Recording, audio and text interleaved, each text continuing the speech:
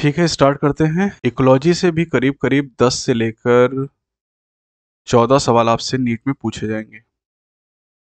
तो बड़ी यूनिट है ये भी आपके लिए।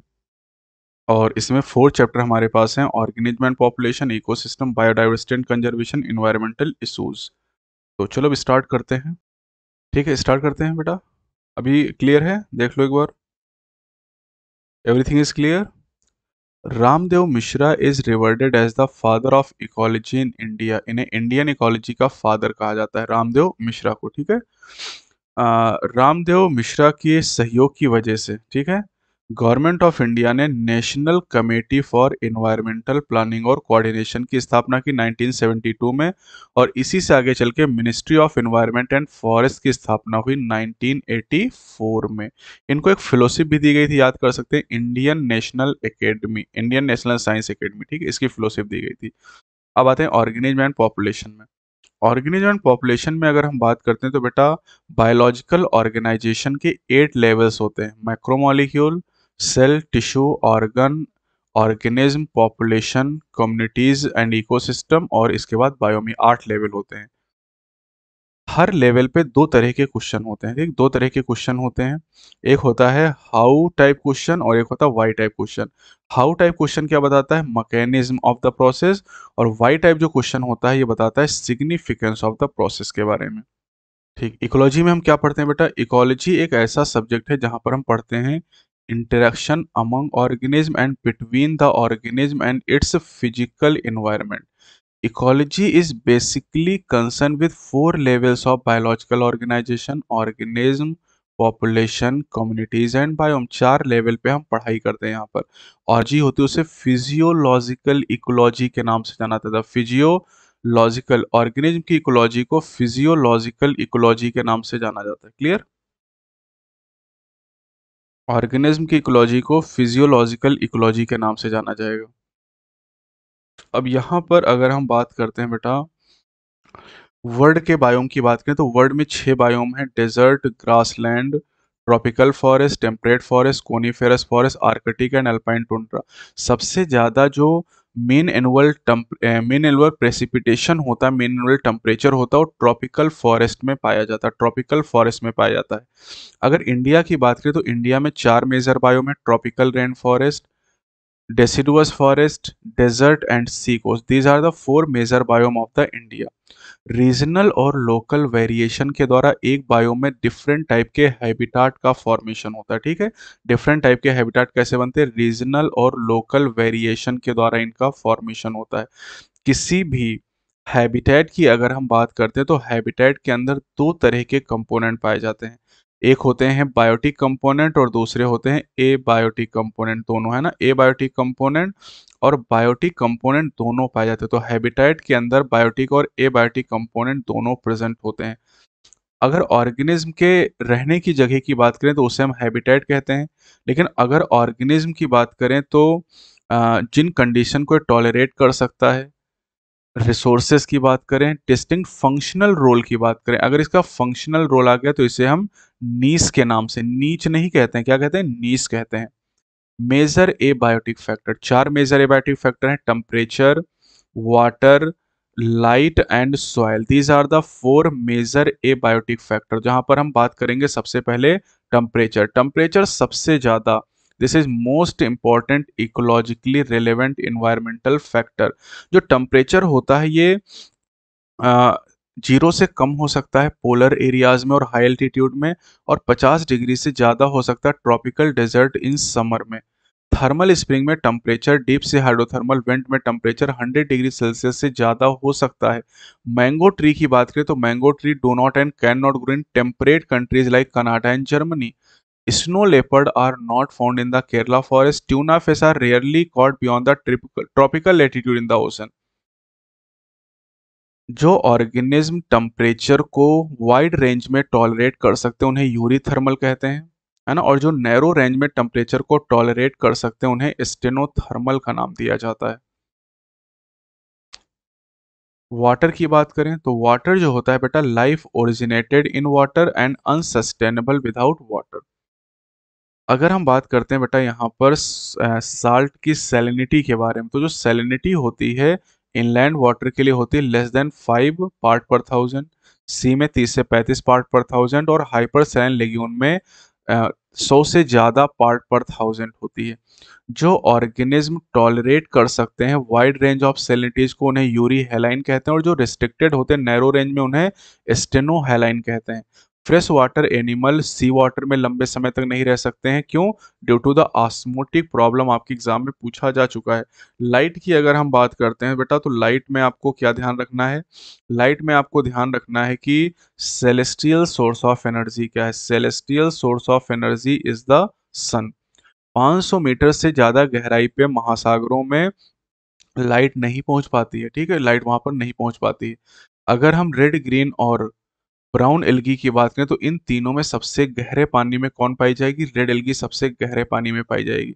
सॉइल की अगर हम बात करते हैं बेटा तो यहाँ पर आपको ध्यान रखना है कि जो सेडिमेंट uh, कैरेक्टरिस्टिक होती हैं ये तय करती हैं type of benthic animal. Type of benthic animal को कौन तय करती हैं? सेडिमेंट कैरेक्टरिस्टिक आपके एग्ज़ाम में पूछा गया है। Responses to abiotic factor. Responses की अगर हम बात करते हैं बेटा तो यहाँ पर आपको क्या क्या चीज़ें ध्यान रखनी है?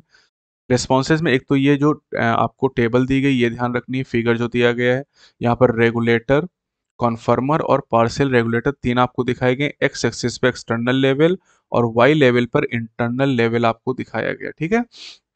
कैसे याद रखोगे? ई e एक्स देखो एक्सटर्नल में एक्स आ रहा है मतलब ये एक्स एक्सिस पे हो जाएगा, ऐसे याद रख सकते हो आप इसको। अब यहाँ पर चार तरह की कंडीशन हो सकती है। रेगुलेट हो सकता है कॉन्फर्म हो सकता है माइग्रेट हो सकता है और सस्पेंड हो सकता है। चारों के बारे में जो इंपॉर्टेंट बातें वो मैं आपको बता देता हूँ, जो आपसे पूछी जा सकती हैं, ठीक है? ध्यान से सुनिएगा। रेगुलेट उन्हें कहते हैं आल बर्ड और मैमल ठीक है? आल बर्ड और mammal and very few lower vertebrate and invertebrate species thermoregulation और आसमो रेगुलेशन कर सकती हैं। क्लियर ह्यूमन अपने बॉडी टेम्परेचर को 37 डिग्री सेल्सियस पर मेंटेन कर सकते हैं। प्लांट में टेम्परेचर को मेंटेन करने की हमारी जैसी कोई मैकेनिज्म नहीं पाई जाती है। हम लोग ठंडियों में सिवरिंग के द्वारा, गर्मियों में स्वेटिंग के द्वारा बॉडी के टेम्परेचर को मेंटेन करते प्लांट में ऐसी कोई भी मैकेनिज्म नहीं है। कॉन्फर्म की बात करें तो 99 परसेंट एनिमल और लगभग सारे प्लांट अपने बॉडी के टेम्परेचर या इंटरनल इन्वायरमेंट को मेंटेन नहीं कर पाते। इन्हें कॉन्फर्मर का नाम दिया जाता है। इन्हें कॉन्फर्मर का नाम दिया जाता है। जो छो, बहुत छोटे एनिमल होते हैं जैसे श्रीज और हमिंग बर्ड की अगर हम बात करें तो। श्रीज और हमिंग बर्ड में जो एरिया और वॉल्यूम रेशियो होता है surface area upon volume ratio काफ़ी ज़्यादा होता है और इस वजह से जो बहुत छोटे एनिमल हैं ये पोलर रीजन में नहीं पाए जाते पोलर रीजन में नहीं पाए जाते हैं। माइग्रेट की अगर हम बात करें तो माइग्रेट में एग्ज़ाम्पल हमारे पास है साइबेरियन क्रेन का, है ना? साइबेरिया से जो माइग्रेटरी बर्ड होती हैं, ये हर ठंडियों में आती हैं। Keoladeo national park Bharatpur, Rajasthan में, साइबेरिया से और नॉर्दर्न रीजन से आती है। सस्पेंड की बात करें तो बैक्टीरिया फंजाई और लोअर प्लांट में थिक वाल्ड स्पोर पाए जाते हैं, ठीक है?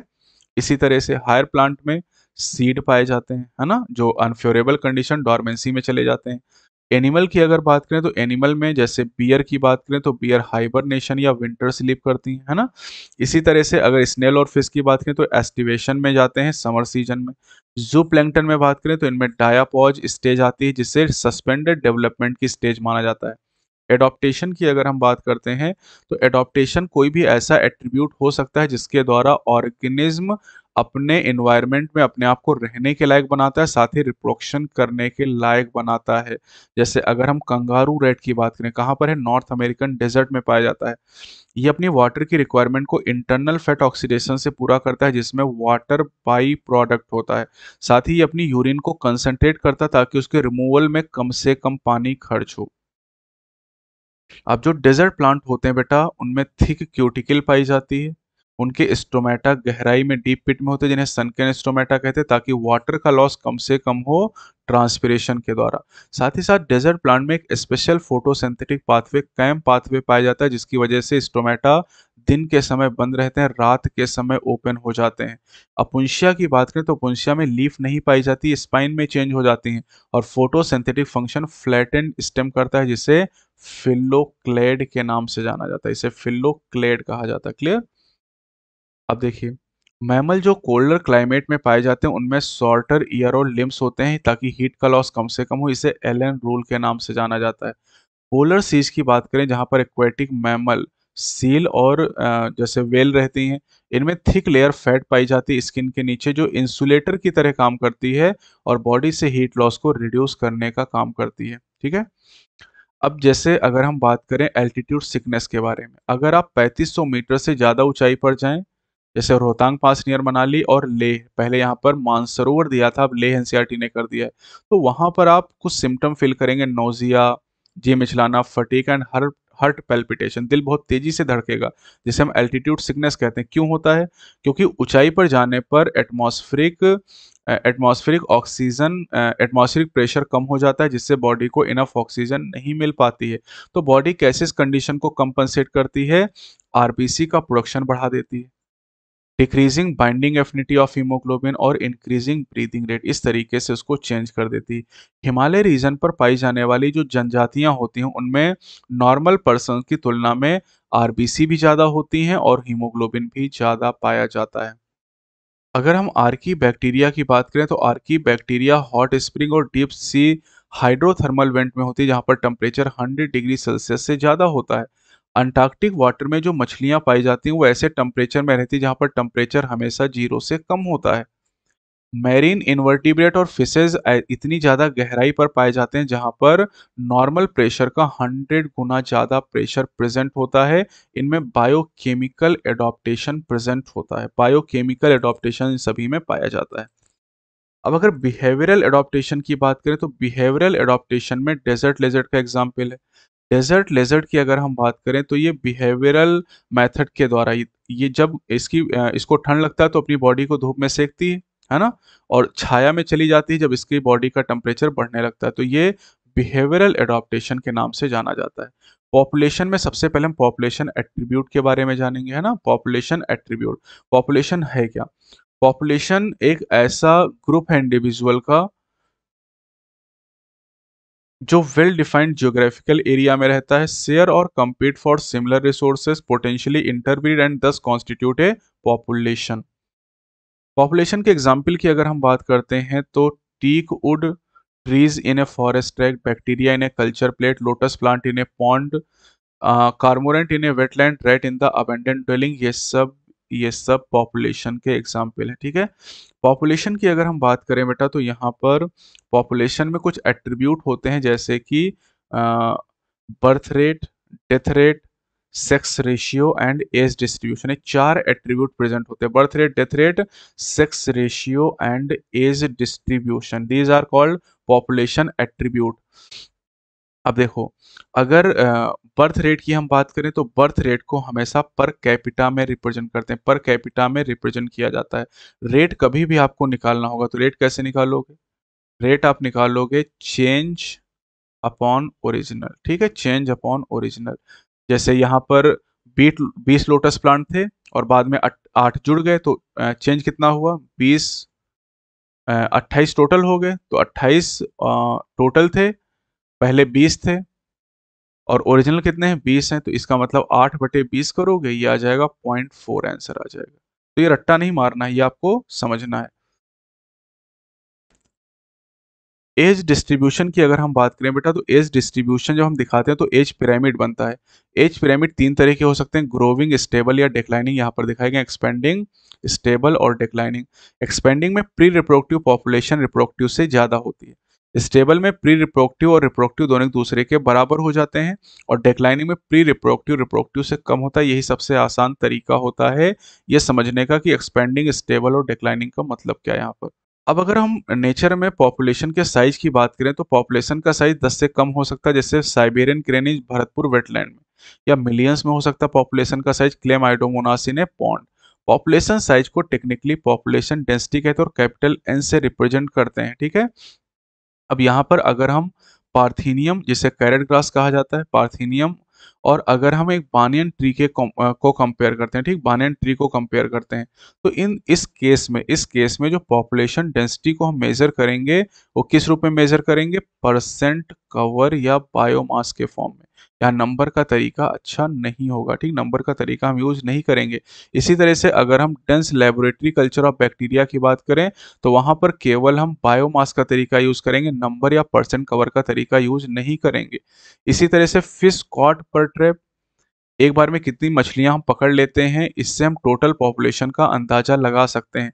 और अगर टाइगर सेंसस की बात करें, बाघों की जनगणना जो की जाती है, वो पगमार्क और फिकल पैलेट के आधार पर की जाती है। ठीक है, पॉपुलेशन ग्रोथ की अगर हम बात करते हैं बेटा तो चार फैक्टर हैं जिनसे पॉपुलेशन की डेंसिटी में चेंज होता है, ठीक है? दो फैक्टर पॉपुलेशन की डेंसिटी को बढ़ाते हैं इमिग्रेशन और नेटेलिटी इनसे पॉपुलेशन की डेंसिटी बढ़ती है और मोर्टेलिटी और इमाइग्रेशन से पॉपुलेशन की डेंसिटी घट जाती है। यही सब आपको लिख के दिया गया है। तो अगर पॉपुलेशन डेंसिटी को आप कैलकुलेट करना चाहते हैं तो इस फॉर्मूले से कैलकुलेट कर सकते हैं N T plus one equal to N T plus B plus I minus T plus E ये फॉर्मूला हमारे पास हो जाएगा। ग्रोथ मॉडल की अगर बात करें तो दो तरह के ग्रोथ मॉडल हम पढ़ते हैं। एक होता है एक्सपोनेंशियल ग्रोथ और एक होता है लॉजिस्टिक ग्रोथ एक्सपोनेंशियल ग्रोथ कब होगी? जब रिसोर्सेज कैसे होने चाहिए? रिसोर्सेज अनलिमिटेड होने चाहिए, ठीक है? अनलिमिटेड रिसोर्स अगर है ठीक है? अगर रिसोर्सेज अनलिमिटेड हैं तो उस केस में एक्सपोनेंशियल ग्रोथ होगी और डार्विन ने भी इस बारे में बताया था, ठीक? डार्विन ने इस बारे में बताया था। अब यहाँ पर फॉर्मूला होता है D N over D T equal to B minus D equal to N B minus D यानी birth rate minus death rate को आर कहते हैं तो ये B minus D N over D T equal to क्या हो जाएगा? Are हो जाएगा। जहाँ पर जो आर होता है, इसे कहते हैं intrinsic rate of natural increase R की जो वैल्यूज़ होती है, आप याद कर सकते हैं नॉर्वे रेड के लिए point zero one five flour beetle के लिए पॉइंट वन टू और 1981 में ह्यूमन पॉपुलेशन के लिए इंडिया में point zero two zero five होती है। अब ये जो कर्व हमें मिलता है बेटा, वो जे सेप का कर्व मिलता है, ठीक? एक्सपोनेंशियल या ज्योमेट्रिक ग्रोथ कर्व जो होता है बेटा, वो जे सेप का कर्व होता है। अगर हम इस इक्वेशन को अगर इंटीग्रल फॉर्म की बात करते हैं, ये तो हमें जो इक्वेशन बताएगी डिफरेंशियल फॉर्म थी। इंटीग्रल फॉर्म की अगर हम बात करते हैं तो इंटीग्रल फॉर्म में N T equal to N naught E to power R T होता है, जहाँ पर ई e होता है बेस ऑफ़ नेचुरल लॉग जिसकी value two point seven one eight two eight होती है। यहाँ पर आपको डी एन और D to equal to R in J shape का कर्व आपको दिखाई दे रहा है। दूसरा है लॉजिस्टिक ग्रोथ की अगर हम बात करें बेटा तो लॉजिस्टिक ग्रोथ मॉडल में आपको क्या ध्यान रखना है? लॉजिस्टिक ग्रोथ में जो रिसोर्सेज होंगे वो लिमिटेड होंगे, ठीक? रिसोर्सेज होंगे बेटा, वो लिमिटेड रिसोर्स होंगे, ठीक है? और लिमिटेड रिसोर्स की कंडीशन में नेचर की एक कैरिंग कैपेसिटी आ जाएगी। ठीक? कैरिंग कैपेसिटी कैरिंग कैपेसिटी किसे किसे कहते हैं? एक given habitat has enough resources to support a maximum possible number beyond which no further growth is possible इसी को कैरिंग कैपेसिटी के नाम से जाना जाता है। कैसे रिप्रेजेंट करते हैं। तो लॉजिस्टिक ग्रोथ को विरोहोस्ट पर लॉजिस्टिक ग्रोथ भी कहा जाता है और इसकी वैल्यू होती है D N over D equal to R N K minus N over K जहाँ पर के माइनस एन ओवर की ये जो पार्ट है, इसे इन्वायरमेंटल रेजिस्टेंस के नाम से जाना जाता है। के कैरिंग कैपेसिटी होती है एक्सपोनेंशियल ग्रोथ में कैरिंग कैपेसिटी नहीं पाई जाती है। अब यहाँ पर जो कर्व मिलता है बेटा, वो कैसा कर्व होता है? सिग्मोइड या एस शेप का कर्व होता है, ठीक है? जिसमें इनिशियली लैग फ़ेज़ होता है, फिर phase of acceleration phase of deceleration और एसिम्टोट फ़ेज़ आ जाता है, ठीक है? जिससे सिग्मोइड कर्व का फॉर्मेशन होता है। जैसा कि यहाँ पर आपको दिखाया भी गया है, ये बी वाला जो कर्व है D N over D T equal to R N K minus N over K के लिए है, जहाँ पर आपको sigmoid curve lag phase phase of acceleration phase of deceleration और एसिम्टोट फ़ेज़ आ जाती है, जो के है। कैरिंग कैपेसिटी ये केवल और केवल आप देख सकते हैं लॉजिस्टिक ग्रोथ में एक्सपोनेंशियल ग्रोथ के लिए कोई भी कैरिंग कैपेसिटी प्रेजेंट नहीं होती है। अब अगर दोनों में पूछा जाए कि कौन रियलिस्टिक है तो लॉजिस्टिक ग्रोथ मॉडल ज़्यादा रियलिस्टिक होता, सही मायने में यही ग्रोथ प्रेजेंट होती है। कुछ ऑर्गेनिज्म अपने लाइफ टाइम में केवल एक बार रिप्रोड्यूस करते हैं, जैसे पैसिफिक सालमन फ़िश और बम्बू कुछ ऐसे होते हैं जो कई बार ब्रीड कर सकते हैं, जैसे बर्ड और मैमल की बात की जाए। इसी तरह से लार्ज नंबर में स्मॉल साइज़ के बच्चे पैदा करते हैं ओएस्टर और प्लेजिक फिशेज जबकि बर्ड और मैमल स्मॉल नंबर में लार्ज साइज़ के ऑफ़ स्प्रिंग को प्रोड्यूस करते हैं। पॉपुलेशन इंट्रैक्शन की अगर हम बात करते हैं तो पॉपुलेशन इंट्रैक्शन मेनली दो तरह का होता है, एक इंटर स्पेसिफिक होता है और एक इंट्रा स्पेसिफिक होता है। जो इंटर स्पेसिफिक इंट्रैक्शन होते हैं, इसमें दो अलग अलग स्पीसीज की पॉपुलेशन का इंट्रैक्शन होता है। यह फ़ायदेमंद, नुकसानदायक या न्यूट्रल हो सकता है, फ़ायदेमंद है तो प्लस नुकसानदायक है तो माइनस और ज़ीरो है तो न्यूट्रल हो जाएगा। अब ये इंटर स्पेसिफिक इंट्रेक्शन छह तरह के होते हैं। Mutualism, competition, predation, parasitism, commensalism, amensalism. Mutualism में दोनों स्पीसीज को फ़ायदा होता है कॉम्पिटिशन में दोनों को नुकसान होता है। प्रिडेशन और पैरासिटिज्म में एक को फ़ायदा, एक को नुकसान। कॉमेंसिलेज में एक को फ़ायदा, दूसरे को कोई फ़र्क नहीं पड़ता। और अमेंसिलेज में एक को नुकसान होता है, दूसरे को कोई फ़र्क नहीं पड़ता। अमेंसिलेज को छोड़कर बाकी सब आपको यहाँ पर पढ़ने हैं। ठीक है, अब एक चीज़ और यहाँ पर ध्यान दीजिएगा कि अगर हम बात करते हैं प्रिडेशन पैरासिटिज्म और कॉमेंसिलेज में तो इनमें कॉमन कैरेक्टरिस्टिक है कि दोनों इंटरेक्टिंग स्पीसीज एक दूसरे के पास में थी क्लोजली लिविंग टुगेदर सबसे पहले हम प्रिडेशन के बारे में बात करते हैं, ठीक है?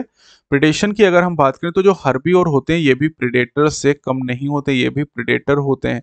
स्पैरो की बात करें टाइगर की बात करें लाइन की बात करें, ये सभी प्रिडेटर के एग्ज़ाम्पल आप भी एक प्रिडेटर हैं, आप शिकारी से कम नहीं हैं। जब आप रोटी या चावल खाते हैं तो आप शिकार कर रहे होते हैं इसका मतलब। अब प्रिडेटर का काम क्या है बेटा?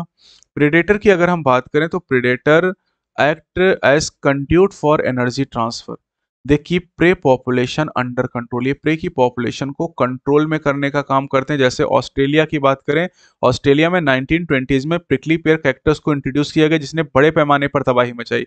बाद में इसको कंट्रोल किया गया कैक्टस फीडिंग प्रेडेटर एक मौत के द्वारा इसको कंट्रोल किया गया।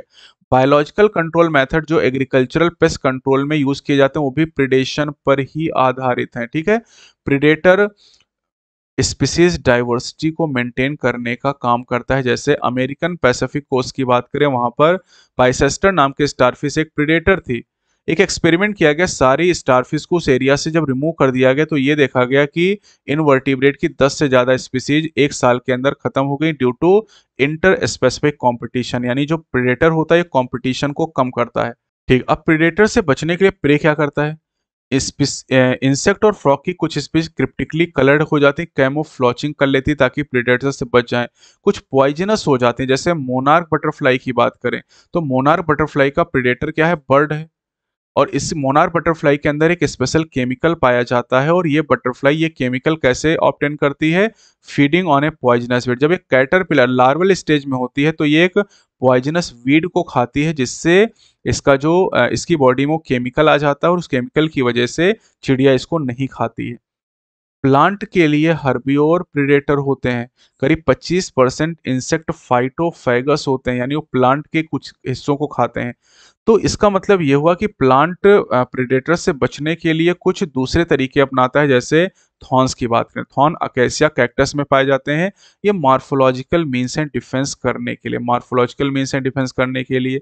इसी तरह से अगर हम कैलाट्रोपिस की बात करें तो कैलाट्रोपिस के अंदर पॉइजनस पॉइजनस कार्डियक ग्लाइकोसाइड पाया जाता है, इसलिए कैलाट्रोपिस को कोई जानवर नहीं खाता है। इसी तरह से जो nicotine caffeine quinine strychnine opium plant produce करता है, ये एक्चुअली उनके द्वारा प्रोड्यूस किए गए हैं चरने वाले जानवरों से बचने के लिए, लेकिन आपसे नहीं बच पाए। कंपटीशन में दोनों को नुकसान होता है। डार्विन ने जब सर्वाइवल ऑफ़ फिटेस्ट के बारे में अपनी थ्योरी को दिया था तो उन्होंने कहा था interspecific competition is a potent force in the organic evolution interspecific है, ये बात ध्यान दीजिएगा, आपके एग्ज़ाम में पूछा जा चुका है, ठीक आपके एग्ज़ाम में पूछा जा चुका है। साउथ अमेरिकन लेक की अगर बात करें तो वहाँ पर जो फ्लेमिंगोज और रेजिडेंट फिशेज होती हैं, उनका जो कॉमन फ़ूड होता है, जो प्लैंकटन उसके लिए कंपटीशन करते हैं, ठीक? कंपटीशन करते हैं।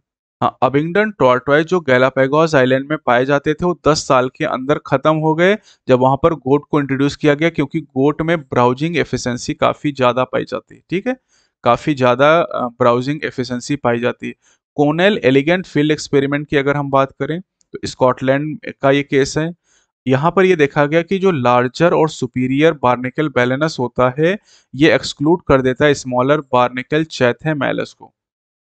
इन जनरल अगर बात की जाए तो हर्बी और हर्बी और और प्लांट पे कंपटीशन का ज़्यादा इफ़ेक्ट पड़ता है, ज़्यादा एडवर्सली इफ़ेक्ट होते हैं कार्नी और के कंपैरिजन में। गाउस कम्पिटिटिव एक्सक्लूजन प्रिंसिपल बहुत इंपॉर्टेंट ये कहता है कि दो क्लोजली रिलेटेड स्पीसीज जो सेम रिसोर्स के लिए कॉम्पीट करती हैं, वो अनंत समय तक एक साथ एग्जिस्ट नहीं कर सकती और जो इन्फीरियर स्पीसीज है उसको इस एरिया से एलिमिनेट कर दिया जाएगा।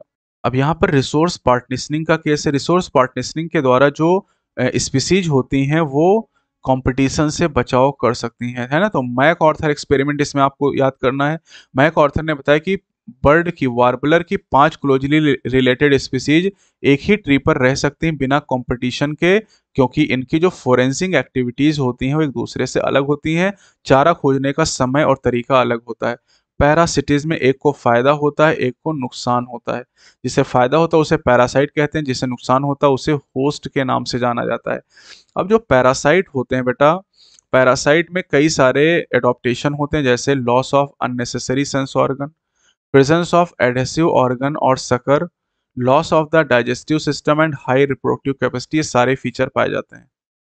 अगर ह्यूमन लीवर फ्लूक की बात करें, जो कि ट्रिमेटोड पैरासाइट है, ये दो इंटरमीडिएट होस्ट पर डिपेंड करता है एक स्नेल और एक फ़िश ये बहुत इंपॉर्टेंट है जो आपको ध्यान रखना है। एक्टो पैरासाइट जो बॉडी के एक्सटर्नल सरफेस पे पाए जाते हैं, जैसे लाइस ऑन ह्यूमन जुए हो गए आपके सिर में, वो एक्टो पैरासाइट है टिक ऑन डॉग डॉग में बहुत सारे कीड़े लगे रहते हैं मैरीन फिशेज मैरीन फ़िश के ऊपर एक्टोपैरासाइट कॉपी पॉट पाए जाते हैं। कस्कुटा भी एक पैरासिटिक प्लांट है जो हेस प्लांट के ऊपर प्रेजेंट होता है।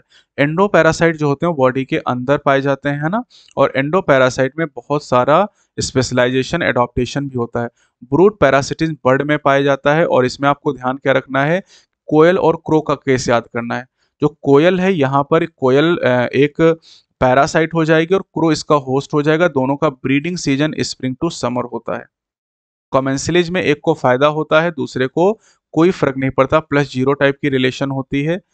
तो यहाँ पर एग्ज़ाम्पल पहला orchid growing as an epiphyte on the mango branch barnacle growing on back of the whale ये दो केस हो गए। कैटल एग्रेट बगुला और ग्रेजिंग कैटल के बीच का रिलेशनशिप हो जाएगा और इसके अलावा सी एनिमोन और क्लाउन फ़िश का एग्ज़ाम्पल हो जाएगा। म्यूचुअलिज्म की बात करें, दोनों को फ़ायदा होगा।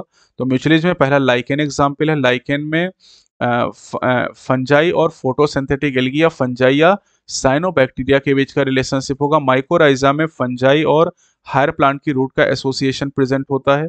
और यहाँ पर जो स्यूडो कपुलेशन का केस आपको दिया गया, वो ध्यान रखना है।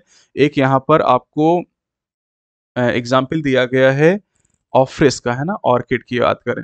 तो ऑर्किड में एक हमारे पास, ऑर्किड में पॉलिनेशन कराता है बीज और बम्बल बीज एक ऑफ्रेस है जिसका, जिसे कहते हैं मेडिटेरेनियन ऑर्किड ऑफ्रेस स्पेकुलेटम ये सेक्सुअल डिसीड लैंगिक धोखा देता है, ठीक है? लैंगिक धोखा देता है किसको? बी को। ये जो मेल भी होता है, वो सीडो कपुलेशन करता है। तो यही सारे टर्म जो मैंने टिक किए हैं, वो आपसे पूछे जाएँगे। और जहाँ पर ऑब्लिगेट रिलेशनशिप होती है, वहाँ पर को एवोल्यूशन भी प्रेजेंट होता है को एवोल्यूशन भी पाया जाता है।